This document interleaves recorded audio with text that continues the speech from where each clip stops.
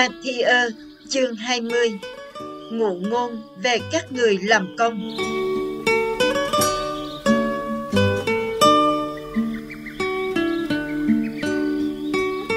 Nước trời giống như một chủ đất kia. Buổi sáng nọ, ông ra thuê người vào làm trong vườn nho. Ông đồng ý trả mỗi người một quan tiền cho một ngày công. Rồi ông sai họ vào làm trong vườn nho. Đến khoảng 9 giờ sáng, ông ra chợ, thấy một số người đứng không. Ông bảo, nếu mấy anh chịu vào làm trong vườn nho tôi, tôi sẽ trả công phải chăng cho. Họ liền đi vào vườn nho làm việc. Khoảng 12 giờ trưa, rồi đến 3 giờ chiều ông lại ra và làm y như trước. Đến 5 giờ chiều, ông lại ra chợ thì thấy mấy người nữa đang đứng không. Ông hỏi, tại sao mấy anh đứng đây cả ngày không làm gì cả? Họ đáp, vì không ai mướn chúng tôi. Ông bảo, vậy thôi, các anh cũng hãy vào làm trong vườn nho tôi. Đến cuối ngày, người chủ vườn nho bảo anh trưởng toán làm thuê, gọi mấy người làm thuê lại trả công cho họ. Bắt đầu từ người cuối cùng tôi mới mướn, cho đến người mướn đầu tiên. Những người mới được mướn lúc 5 giờ chiều đến mỗi người được lãnh một quan tiền. Đến lượt những người được mướn đầu tiên tới lãnh tiền, họ tưởng sẽ được trả nhiều hơn. Nhưng mỗi người cũng chỉ được lãnh có một quan tiền. Sau khi nhận tiền, họ phàn nàn với người chủ vườn nho. Họ bảo, những người mới mướn sau cùng chỉ làm có một giờ đồng hồ, mà ông trả cho họ cũng bằng chúng tôi, là những người cả ngày phải chịu nắng nôi. Nhưng người chủ vườn nho bảo với một người trong họ, Bạn ơi, tôi bất công với bạn chỗ nào? Có phải bạn đã đồng ý làm việc mỗi ngày một quan tiền rồi không? Thôi, hãy nhận tiền công của bạn rồi về đi. Tôi muốn trả công cho người cuối bằng với tiền công tôi trả cho bạn. Tiền của tôi, tôi muốn dùng sao mặc ý. Có phải các bạn ganh tức vì tôi đối tốt với những người kia không? Vì thế, người chót trong hiện tại sẽ trở thành người đầu trong tương lai và người đầu trong hiện tại trở thành người chót trong tương lai là như thế. Chúa Giêsu nói trước về cái chết của Ngài. Trong khi đang đi lên Jerusalem, Chúa Giêsu đem các môn đệ riêng ra và bảo họ rằng: Nghe đây, chúng ta đang đi lên Jerusalem con người sẽ bị trao vào tay các giới trưởng tế và các giáo sư luật. Họ sẽ tuyên án xử tử Ngài. Họ sẽ giao Ngài cho dân ngoại quốc. Những người ấy sẽ chế giễu Ngài, lấy roi đánh đập rồi đóng đinh Ngài. Nhưng đến ngày thứ ba, Ngài sẽ sống lại. Một bà mẹ xin đặc ân. Lúc ấy, vợ của CBD và các con trai đến gặp Chúa Giêsu bà bấy lạy Ngài và xin Ngài làm cho bà một điều. Chúa Giêsu hỏi, bà xin điều gì? Bà thưa, xin Thầy hứa cho hai đứa con trai tôi, một đứa ngồi bên phải, một đứa ngồi bên trái Thầy trong nước của Thầy. Nhưng Chúa Giêsu bảo, các ngươi không hiểu điều mình xin. Các ngươi có uống được ly đau khổ ta sắp uống không? Hai người con thưa, dạ được. Chúa Giêsu bảo họ, các ngươi sẽ uống ly đau khổ của ta, nhưng ta không thể chọn người ngồi bên phải và bên trái ta. Hai chỗ ấy dành cho những người nào mà cha ta đã chuẩn bị trước. Khi 12 môn đệ kia nghe thế thì tức giận hai anh em ấy. Chúa Giêsu gọi các môn đệ lại dạy rằng: Các con biết những quan cai trị dân ngoại thích tỏ oai quyền với dân chúng còn những nhà lãnh đạo cao cấp thích sử dụng quyền hành mình. Đối với các con thì không nên làm như vậy. Ai trong các con muốn làm lớn thì phải hầu việc người khác như tôi tớ. Còn ai muốn làm đầu thì phải phục dịch mọi người như nô lệ. Cũng vậy, con người đến không phải để người ta phục vụ mình mà để phục vụ người khác và hy sinh mạng sống mình để cứu vớt nhiều người. Chúa Giêsu chữa lành hai người mù. Khi Chúa Giêsu và các môn đệ rời thành Jericho thì có đoàn dân rất đông đi theo Ngài.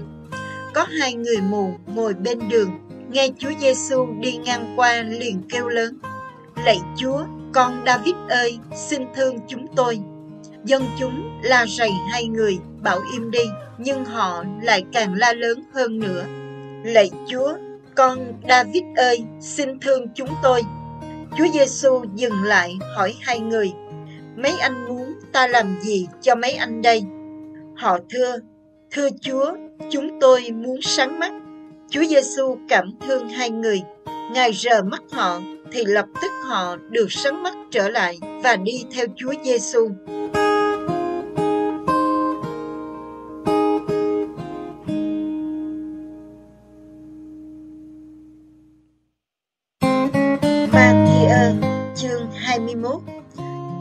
Giêsu vào thành Jerusalem như một hoàng đế. Khi Chúa Giêsu và các môn đệ đi gầm đến thành Jerusalem, thì dừng chân lại tại thị trấn Bết Phát dưới chân núi Ô Liêu.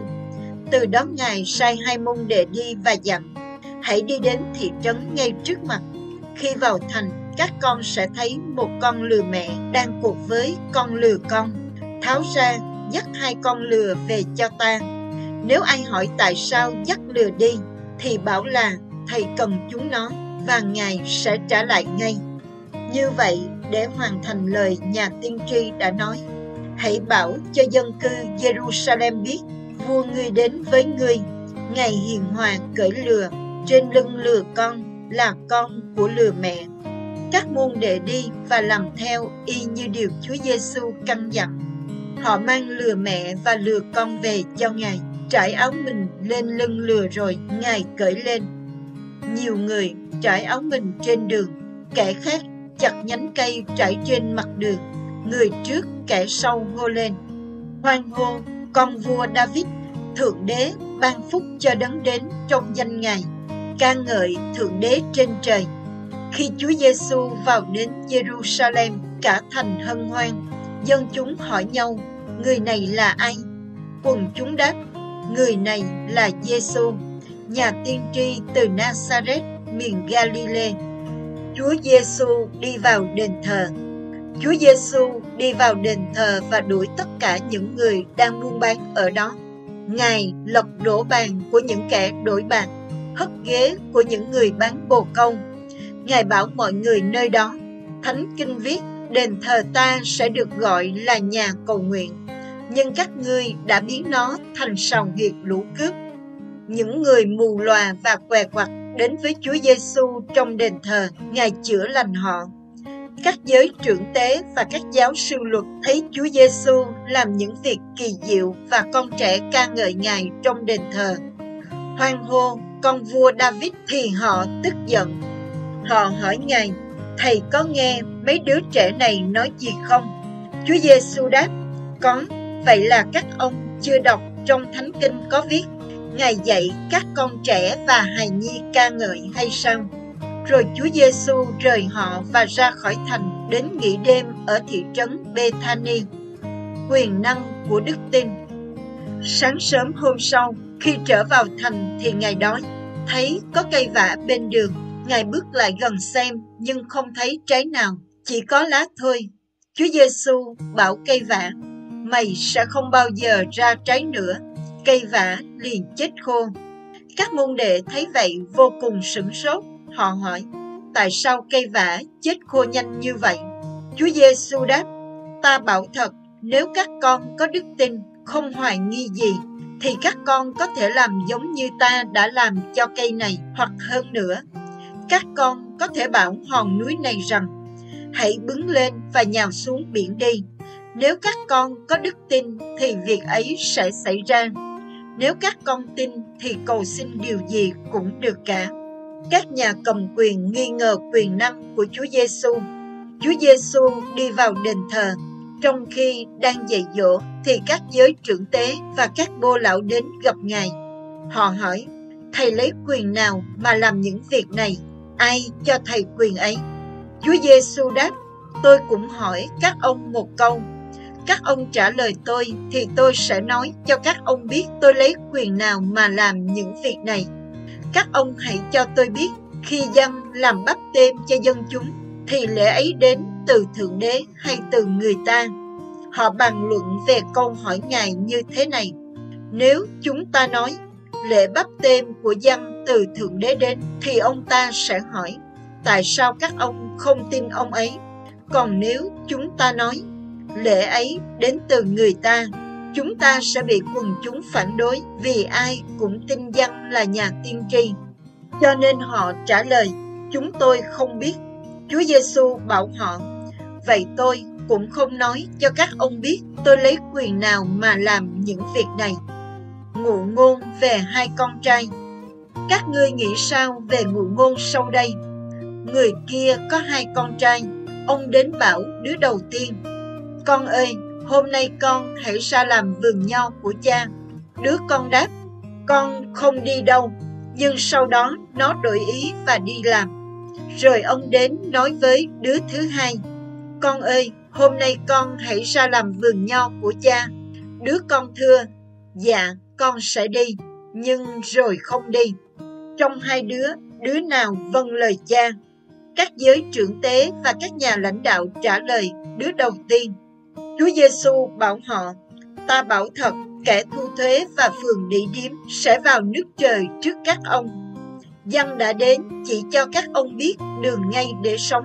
Các ông không tin ông ấy, nhưng những kẻ thu thuế và địa điếm tin ông ta.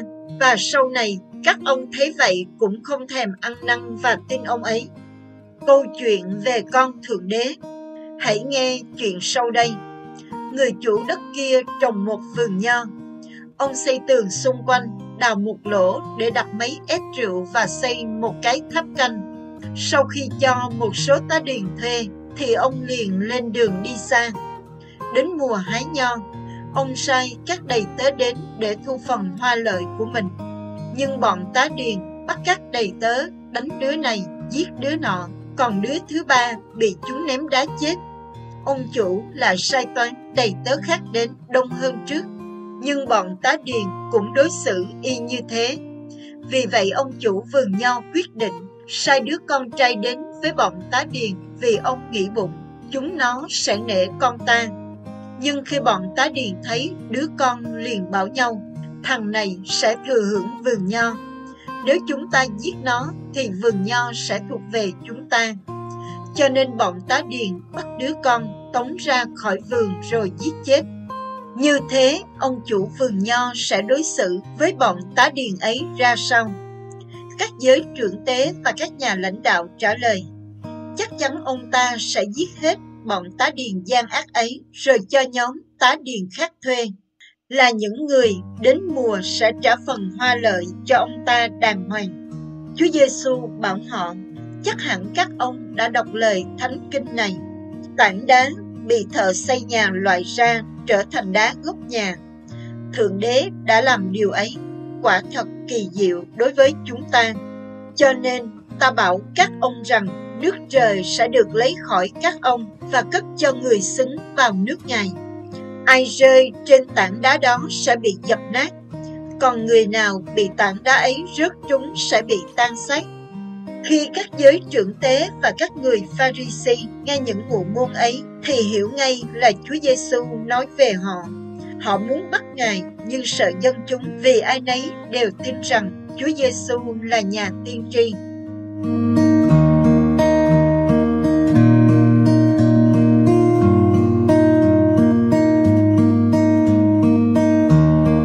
Matthew, chương 22 Ngụ ngôn về tiệc cưới Chúa Giêsu lại dùng ngụ ngôn để dạy dân chúng. Ngài kể, nước trời giống như một vua kia làm tiệc cưới cho con trai mình. Vua mời một số khách đến dự. Khi tiệc đã sẵn sàng, vua sai đầy tớ đi nhắc nhưng họ từ chối không đến. Vua lại sai những đầy tớ khác dặn chúng như sau. Hãy đi nhắc các khách được mời là tiệc đã sẵn sàng. Ta đã cho giết bò và bê mập mọi việc đã sẵn sàng cả rồi, hãy đến dự tiệc cưới. Nhưng họ chẳng đếm xỉa gì đến các đầy tớ, chỉ mãi lo việc riêng. Người thì đi ra đồng làm việc, kẻ thì lo việc buôn bán. Một số khác lại còn bắt mấy người đầy tớ đánh đập và giết đi. Vua nổi giận sai quân lính giết bọn sát nhân ấy và đốt tiêu thành của chúng nó. Rồi vua bảo các đầy tớ rằng, tiệc cưới sẵn sàng, ta đã mời khách nhưng họ không xứng đáng đến dự. Thôi bây giờ, chúng bay hãy ra mọi góc đường, gặp ai thì mời đến dự tiệc của ta. Nên các đầy tớ đi ra mọi góc đường, gặp ai cũng mời, bất luận xấu tốt. Phòng tiệc đầy khách. Khi bước vào xem khách dự tiệc, vua thấy một người không mặc áo dành cho tiệc cưới. Vua hỏi, bạn ơi, ai cho phép bạn vào đây? Tại sao bạn không mặc áo dành cho tiệc cưới? Nhưng người đó làm thinh. Vua liền bảo mấy người đầy tớ, trói tay chân nó lại, đem quăng ra chỗ tối tăm, nơi có khóc lóc và nghiến răng vì đau đớn. Thật vậy, nhiều người được mời nhưng ít người được chọn. Có nên đóng thuế không? Các người Pharisee rời nơi ấy tìm cách gài bẫy Chúa Giêsu trong lời nói. Họ cho mấy đồ đệ của họ và vài đảng viên đảng Herod đến. Chúng hỏi, Thưa Thầy, chúng tôi biết Thầy là người ngây thật, luôn luôn dạy sự thật theo đường lối của Thượng Đế. Thầy không sợ người ta nghĩ gì về Thầy, vì Thầy không cần biết họ là ai. Xin Thầy cho chúng tôi biết chúng ta có nên đóng thuế cho Caesar hay không? Biết âm mưu gài bẫy của họ nên Ngài trả lời, mấy anh đạo đức giả, sao mấy anh tìm cách đánh bậy ta, đưa ta xem quan tiền dùng nộp thuế. Chúng chìa ra một quan tiền. Chúa Giêsu hỏi, hình và danh hiệu trên đồng tiền này là của ai? Chúng đáp, của Caesar. Chúa Giêsu bảo, thế thì những gì của Caesar thì hãy trả lại cho Caesar, còn những gì thuộc về Thượng Đế thì trả lại cho Thượng Đế. Khi nghe Chúa Giêsu trả lời như thế, thì chúng đâm ra ngỡ ngàng liền bỏ đi. Người sa đu xe muốn gài bẫy Chúa Giêsu. Cùng hôm ấy, có mấy người sa đu xe đến hỏi Chúa Giêsu một câu. Người sa đu xe vốn không tin chuyện người ta sống lại. Họ hỏi, thưa thầy, Mô-xe có nói rằng nếu người nào chết không con thì em trai người ấy phải lấy chị dâu quá để nối dòng cho anh mình. Chúng tôi có bảy anh em. Người anh cả lấy vợ rồi chết không con, nên người em lấy quá phụ ấy. Người em thứ hai cũng qua đời. Người em thứ ba và các người em trai khác cũng đồng chung số phận. Sau cùng, người đàn bà cũng qua đời. Thế thì khi sống lại, người đàn bà sẽ là vợ ai? Vì bảy người đều đã lấy chị ấy làm vợ. Chúa Giêsu đáp, các ông lầm vì không hiểu lời thánh kinh viết, cũng không biết quyền năng của Thượng Đế. Khi người ta sống lại từ kẻ chết thì không còn cưới vợ gả chồng gì nữa. Tất cả đều giống như thiên sứ trên trời vậy.